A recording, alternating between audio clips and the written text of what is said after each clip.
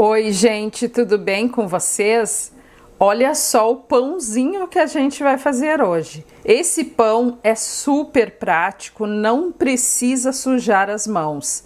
Então, bora lá fazer essa delícia. Eu vou colocar aqui na tigela 240 ml de água levemente morna, tá? Cuide para não esquentar demais a água. Lu, eu posso usar leite? Pode também. Agora, nessa água, eu vou acrescentar 3 colheres de sopa de açúcar. Vou colocar a primeira, a segunda colher e a terceira. Agora, vou misturar esse açúcar até ele diluir por completo. Já diluiu o açúcar, então eu vou colocar o fermento de pão.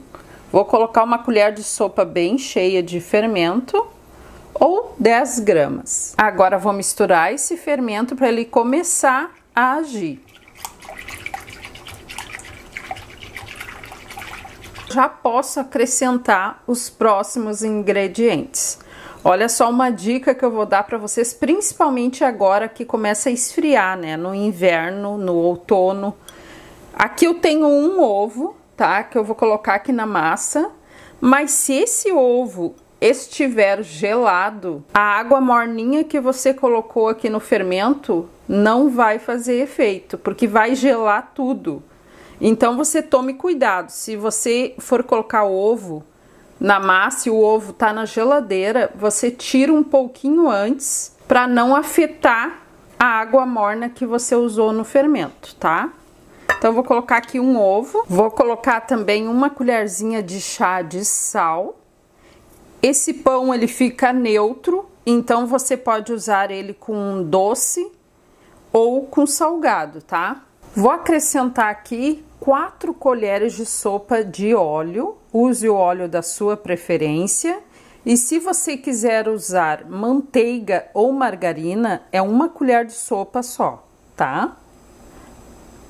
É só misturar aqui esses ingredientes e acrescentar a farinha de trigo. Olha como é simples esse pão. Vou começar então colocando a primeira xícara de farinha. O tamanho dessa xícara é 240 ml. Ó, vou colocando agora a farinha e misturando aqui. Agora vou colocar já a segunda xícara de farinha e continuo misturando. Já já eu vou falar em gramas o que, que foi de farinha. Agora já vou colocar a terceira xícara. Essa eu vou colocar aos poucos, que fica melhor para misturar com o fouet. A massa já tá ficando mais consistente.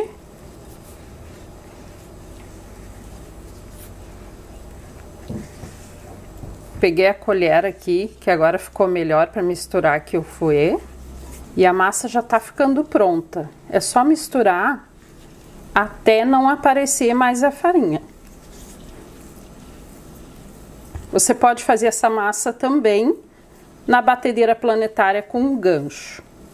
A massa já está no ponto certo, então em gramas, até aqui foram 340 gramas de farinha de trigo ou 3 xícaras tamanho 240 ml. Claro que isso pode variar um pouquinho de acordo com o tamanho do ovo que você usou na massa. Esse pão é tão prático que não precisa você esperar ele crescer agora. Você vai colocar na forma e daí sim você deixa crescer na forma. Peguei aqui então uma forminha de pão tá? Pode ser qualquer forma, até forma de bolo também pode. Untei com um pouco de óleo e agora vou passar a massa para cá.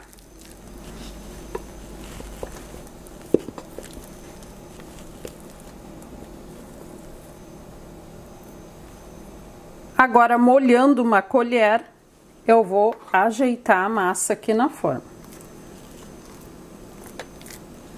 Molho novamente e continuo espalhando. Ajeitei aqui só um pouquinho, porque ele vai crescer ainda bastante. Agora vou levar essa forma para um lugar bem fechadinho, tá? Pode ser até dentro do forno e vou esperar esse pão crescer para depois colocar para assar. O pão já cresceu. Claro que isso vai depender da temperatura do dia. Agora sim eu já posso levar ele para assar no forno 180 graus. Olha como cresceu esse pão. Acabei de tirar aqui do forno, o cheirinho de pão caseiro tá maravilhoso. Aqui no meu forno levou 35 minutos. Eu deixei a maior parte do tempo a 180 graus e nos últimos minutinhos eu coloquei a 200 graus para que ele dourasse. Agora, enquanto ele ainda está quente, eu vou passar aqui por cima uma manteiga.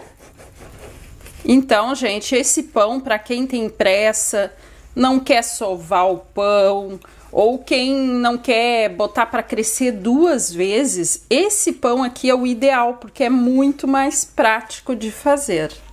Agora vou esperar ele esfriar só um pouquinho e já vou retirar da forma. Agora vamos cortar então uma fatia desse pãozinho. Olha a fofurinha dessa massa, que maravilha! Olha isso, gente. Olha essa situação. Super fofinho. E eu tenho certeza, gente, que está muito gostoso. Olha essa massinha fácil de fazer. Peguei um pedaço aqui de uma casquinha, vou colocar uma nata aqui, que eu gosto de nata, e vou experimentar. Sensacional, não tem palavras para falar o sabor, a gostosura dessa massa. Tá aí a dica de hoje, façam que eu tenho certeza que vocês vão amar o resultado. Um beijo e tchau!